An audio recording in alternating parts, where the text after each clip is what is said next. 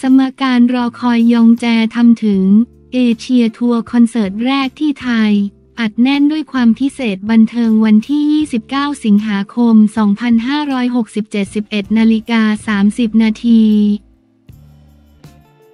อากาเซ่ไทยใจฟูยองแจ สร้างปรากฏการณ์ Once in a Dream กับเอเชีย ทัวร์คอนเสิร์ตแรกที่ไทย 2024 YOUNGJAE ASIA TOUR Once in a Dream จัดเต็มความฟินโดนใจอากาเซ่ไทย ยองแจประเดิมเอเชียทัวร์คอนเสิร์ต 2024 YOUNGJAE ASIA TOUR Once in a Dream ที่ประเทศไทยเป็นแห่งแรกสร้างครั้งหนึ่งของความฝันให้เป็นจริง โดย The Dream and Destiny หรือ The DN ร่วมกับ 3 partner MI Group B Good Entertainment และ SUDSAPDA Entertainment โดย AMEIMAGINATIVE เมื่อวันที่ 24-25 สิงหาคมที่ผ่านมาณยูเนียนฮอลล์ศูนย์การค้ายูเนียนมอลล์ขึ้นชื่อระดับเอเชียทัวร์คอนเสิร์ตไม่ธรรมดาแน่นอน การแสดงครั้งนี้อัดแน่นด้วยความพิเศษที่หนุ่มยองแจนำมาฝากแฟนๆ อากาเซ่ชาวไทยให้ใจฟูตรการตาด้วยแสงสีเสียง และการแสดงแบบจัดเต็มทั้งสองรอบการแสดงเริ่มเปิดเวทีเรียกเสียงกรีดกระหึ่มฮอนด้วยเพลง TPO และดูอิดไม่พอ หยอดหวานชมอากาเซ่ไทยเป็นเจ้าหญิงแสนสวยทุกคน พร้อมใจแต่งตัวเดรสโค้ดสีฟ้ามาเหมือนท้องฟ้าที่สดใส พร้อมบอกที่มาของชื่อ Once in a Dream เพราะอยากให้ทุกคนอยู่ในความฝันที่ดีกับยองแจ จากนั้นฟินกันอย่างต่อเนื่องกับเพลง เพราะเพราะที่ยองแจขนมามอบให้อาทิ Roses Deal Dreaming Again Summer Happening และอีกมากมายแถมเซอร์ไพรส์แสนประทับใจด้วยโปรเจกต์ I Love Y O U N G J A E จากอากาเซ่ไทยที่ทำเอายองแจปลื้มใจสุดๆ ปิดท้ายแดนกระจายแบบชุ่มฉ่ำจัดเต็มด้วยเพลง TPO N A N A N A Hard Carry Go Higher Hate Breathe Just Like และ Before the Full Moon Rises เสียงกรีดไม่แผ่วเลยสักนิดตั้งแต่ต้นจนจบคอนเสิร์ต เป็นบรรยากาศแห่งความสุขท่ามกลางความสวยงามของทะเลไฟอากาบง เต็มอิ่มกับ service แฟน ๆ ที่งานนี้ เจ้านากน้อยฉายาน่ารักรักของหนุ่มยองแจทำได้อย่างถึงใจรวมทั้ง fan benefit ที่งานนี้ได้ใจเหล่าผู้ชมอย่างมาก สมการรอคอยการ comeback ของยองแจภายใต้สังกัดใหม่ ANDBUT Company ซึ่งเอเชียทัวร์คอนเสิร์ต 2024 YOUNGJAE ASIA TOUR Once in a Dream จัดแสดงขึ้นที่ไทยเป็นแห่งแรกหนุ่มยองแจยังได้เผยความรู้สึกว่าถึงแฟนๆ อากาเซ่ชาวไทยว่า แค่อยากให้ทุกคนมีความสุข แค่อยากให้ทุกคนมีความฝันขอบคุณที่รักผมทั้งในอดีตและปัจจุบัน ดีใจที่ได้เจออากาเซ่ชาวไทยอีกครั้ง หวังว่าช่วงเวลานี้จะเป็นช่วงเวลาแห่งความสุขและสนุกไปด้วยกัน เรียกว่างานนี้จัดเต็มความสนุกและยังขนความสุขกลับบ้านด้วยหัวใจพองโตกับความน่ารักของเจ้านาคน้อยยองแจแบบอิ่มอกอิ่มใจกันเลยทีเดียว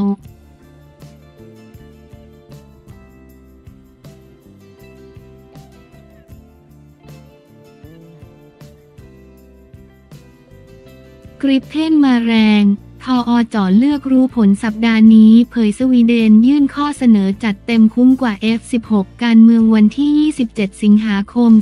2567 17นาฬิกา1นาทีทออจ่อเลือกกริปเพนสรุปผลสัปดาห์นี้แจงรายละเอียดทั้งสองค่ายหลังสหรัฐอเมริกา เสนอลิงก์ 16 ฟรีให้ทออไทย สวีเดน จัดเต็มทั้งให้ลิขสิทธิ์ลิงก์จรวดนำวิถีตัวเก่ง Offset Policy เมื่อวันที่ 27 สิงหาคม 2567 พลอากาศเอกพันพักดีพัฒนกุลผู้บัญชาการทหารอากาศ ผู้บัญชาการทหาร เปิดเผยความคืบหน้าในการคัดเลือกแบบเครื่องบินขับไล่โจมตีฝูงใหม่ทดแทนว่า หลังจากสหรัฐอเมริกาประเทศผู้ผลิตเครื่องบิน F-16 บล็อกเศษ 70 ส่วน 72 และบริษัทซาบสวีเดนประเทศผู้ผลิตเครื่องบินไกรน์อีเอฟได้ส่งเอกสารข้อเสนอมาให้กองทัพอากาศไทยเมื่อวันที่ 20 สิงหาคมที่ผ่านมาคณะกรรมการคัดเลือกแบบที่มีพลโทวชิรพลเมืองน้อยเจ้ากรมยุทธการทหารอากาศ เป็นประธานได้สรุปข้อมูลทั้งหมด และจะตัดสินเลือกแบบเครื่องบินใน 1-2 วันนี้ โดยกองทัพอากาศจะจัดทำเป็นเอกสารข่าวชี้แจงรายละเอียดเปรียบเทียบข้อมูลที่สองค่ายได้นำเสนอมาทั้งคุณลักษณะของเครื่องบิน ข้อเสนอในเรื่อง direct offset policy และ indirect offset policy หรือผลตอบแทนทางหรือชดเชยทางด้านเศรษฐกิจ พื่อให้สาธารณชนได้เห็นข้อมูลเปรียบเทียบว่าทั้งสองค่ายได้เสนออะไรบ้าง จากนั้นจะนำเรียนผู้บังคับบัญชาต่อไปพลอากาศเอกพันพักดีกล่าวว่าเชื่อมั่นว่าการตัดสินใจคัดเลือกแบบเครื่องบินครั้งนี้มีส่วนสำคัญในการพัฒนาขีดความสามารถของกองทัพอากาศ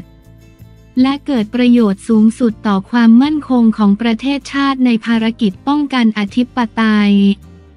รวมทั้งมีความคุ้มค่าด้านงบประมาณ และผลตอบแทนที่ได้คืนกลับมาจากนโยบายรัฐบาลในเรื่องของ offset policy ต้องขอบคุณที่รัฐบาลได้มอบนโยบายนี้มาทำให้การเจรจาเพื่อรับข้อเสนอของประเทศผู้ผลิตมีมูลค่ามหาศาล ซึ่งมากกว่ามูลค่าของตัวโครงการด้วยซ้ำและผลจากการคัดเลือกครั้งนี้จะมีความต่อเนื่องในเรื่ององค์ความรู้ การถ่ายเทคโนโลยีในระบบควบคุมบังคับบัญชาสนับสนุนภารกิจของกระทรวงและหน่วยงานที่เกี่ยวข้องในภารกิจช่วยเหลือประชาชน และบรรเทาสาธารณภัยมีรายงานว่าคณะกรรมการคัดเลือกแบบได้สรุปข้อเสนอของสองค่ายผู้ผลิต โดยลงรายละเอียดในเรื่องการชดเชยผลประโยชน์ตอบแทนกลับมายังประเทศผู้ซื้อ ผ่านกิจกรรมทางเศรษฐกิจทั้งทางตรงและทางอ้อม โดยเฉพาะล็อกฮีดมาตินสหรัฐอเมริกาที่สร้างความฮือฮาด้วยการเสนอให้ลิง 16 ในการอัปเกรด F-16 ฝูงบิน 403 จำนวน 18 เครื่อง ขณะที่บริษัทซาบสวีเดนผู้ผลิตไกรน์ได้ให้ลิขสิทธิ์ลิงก์การถ่ายทอดเทคโนโลยี การฝึกศึกษาบุคลากรให้กับหน่วยงานที่เกี่ยวข้องเพื่อพัฒนาองค์ความรู้เพื่อต่อยอดในเรื่องระบบดังกล่าว กองทัพอากาศการให้เปล่าจรวดนำวิถีอากาศ สู่อากาศมีต่อจำนวนหนึ่ง ซึ่งในแวดวงอาวุธมองว่า เป็นตัวเปลี่ยนโฉมเกมการต่อสู้ทางอากาศในระยะไกลกว่าสายตา ที่สำคัญคือมูลค่าการชดเชยทางเศรษฐกิจที่มากกว่ามูลค่าของทั้งโครงการ ซึ่งมีแนวโน้มว่าทออจะเลือกกริปเพนด้วยข้อเสนอที่ไม่อาจปฏิเสธได้นี้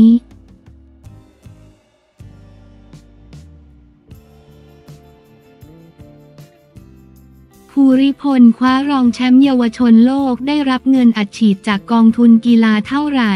กีฬาวันที่ 29 สิงหาคม 2567 9นาฬิกา 27 นาทีไขข้อสงสัยบิวภูริพล บุญสอนลมกรดหนุ่มดาวรุ่งทีมชาติไทย วัย 18 ปีคว้ารองแชมป์กรีธาเยาวชนโลกจะได้รับเงินรางวัลจากกองทุนพัฒนาการกีฬาแห่งชาติเท่าไหร่ การแข่งขันกรีธาเยาวชนชิงแชมป์โลก 2024 World ATHLETICSU 20 แชมเปี้ยนชิพลิมาเปรู ที่กรุงลิมาประเทศเปรูเป็นเจ้าภาพจัดการแข่งขันระหว่างวันที่ 27-31 สิงหาคม 67 โดยเมื่อช่วงเช้าของวันที่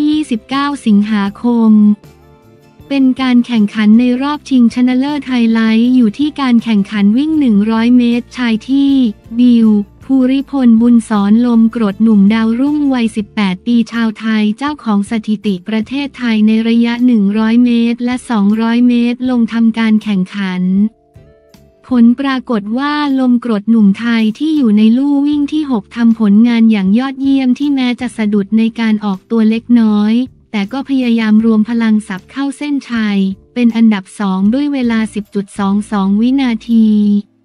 คว้าเหรียญเงินมาครองได้สำเร็จสำหรับเกณฑ์ในการสนับสนุนเงินรางวัลจากกองทุนพัฒนาการกีฬาแห่งชาติ การกีฬาแห่งประเทศไทยนั้นระบุไว้ชัดเจนในส่วนของบิวภูริพลจะจัดอยู่ในหมวด 2.2 กลุ่มกีฬารุ่นเยาวชนและยุวชน